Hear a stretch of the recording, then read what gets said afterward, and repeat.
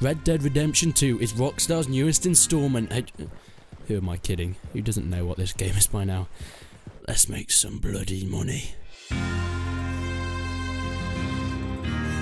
After the release of this incredible game, it's safe to say that there are a lot of things on people's minds of things they want to do, but a lot of these can actually include money. Because, you know, you need money to do pretty much anything. To buy guns, to buy better horses, to customize pretty much everything throughout the game, and there are many ways of doing it, but at the start of the game, it's pretty hard to get a lot of money quickly without doing all the missions. But what if you want to get a lot of money extremely fast? What would you say if I told you there's a way to get $1,500 within minutes in this game, if you just know where to go? Well, this video is showing you an easter egg on how you can do just that. Now, the first place you need to go is a place called Window Rock. It is north of Valentine and it has a massive rock formation. It's pretty hard to miss once you're there. It might take a few minutes to get there depending on where you are on the map, but from Valentine, I would say it's a two to three minute ride at most. But once you're there, you'll see a big rock archway. Now, be careful getting up these rocks, it can be a bit slippery. You don't want to fall off the rocks, as many people have done many, many times.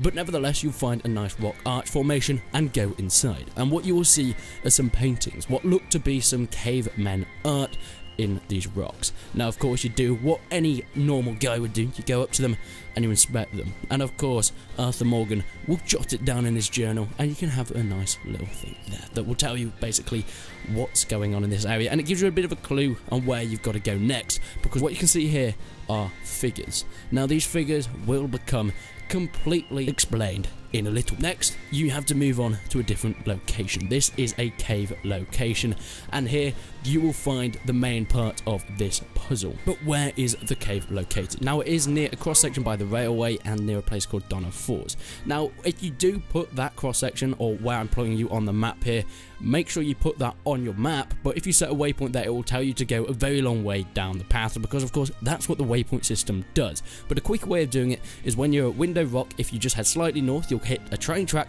and follow the train track sort of northeast woods and if you just go that way you, you'll you'll get there at some point once you cross a bridge called Bacchus Bridge you will then make it to this area now this area has a little bit of a walk up a small path and once you make it up there you're going to have to dismount your horse because it's too treacherous for poor Pebbles at the moment dismounting go up a little pathway and you'll find a tiny little cave very shaped similarly to some sort of interesting object but once you go inside you will find a statue formation. Now this statue formation might seem a bit weird to start with, but this is going to be very important and this is how you get your money.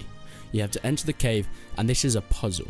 Now I will leave a little diagram below and I'll sort of screenshot it there, the way that you have to actually enter this puzzle because there's buttons on these statues, but you can't just press the buttons in any order. You've got to leave some of the statues alone and you've got to press some of them in a certain order in order to unlock the gold in the middle. As you can see on screen, you have the first one, which is pretty much directly in front of now, you. Now, if you move clockwise around the statues, you miss the next one out, and you go and click the second one. Then you miss the next one out, you go and click that third one, and then the fourth one right next to it. And that should unlock the center. If you look around at the sort of mini statue in the middle, you'll see it reveals three gold bars. Yes, a whole three gold bars. Now, of course, you might expect this can be sold for a lot of money taking these gold bars to any of the fence places. Now these fences are sort of dealers that will be able to deal more, you know, illegalish items. You're able to get some interesting stuff. You're able to get like lock breakers as well, so you can outlaw and rob stagecoaches and things like that. But this is sort of a not quite a black dealership, but it's a similar sort of thing. You go to these fences and you'll be able to sell. Now, there's one at Emerald Ranch. There's also one that I go to, which is in Rhodes. If you go there, you can go on the train and you can get there pretty easily. You go up to the guy and you sell the gold bars. They'll sell for $500 each. So in total, getting $1,500 instantly from doing this very quick little puzzle. Now, I'm hoping to do a lot more Easter eggs and a lot more things in Red Dead Redemption. Make sure you leave your comments down below on any tutorials and stuff you'd like to know or just more Easter eggs and I'll make sure to get on there. But thank you guys for watching. Make sure you subscribe for more of this stuff if you haven't already. And until then, I'll see you in the next one.